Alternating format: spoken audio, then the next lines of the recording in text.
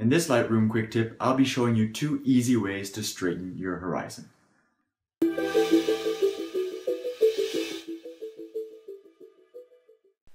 Hey guys, Yanik here for Yanik's Photo School and today we're in Lightroom with another quick tip.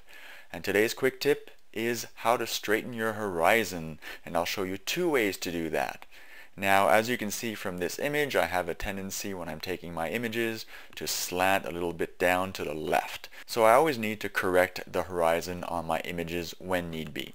So two ways you can do that. You can use the shortcut key R or you can select the icon here which is the crop overlay icon. Now once that's selected make sure your cursor is outside of the uh, image itself and you'll see a double arrowhead. And then just by clicking and holding you can move up or down and it'll move your horizon.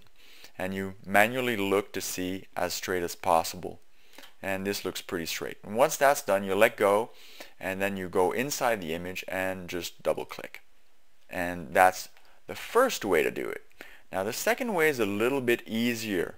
What you need to do let me undo this is again the R key. You go into crop mode and you'll see uh, a little icon here which is this straighten tool.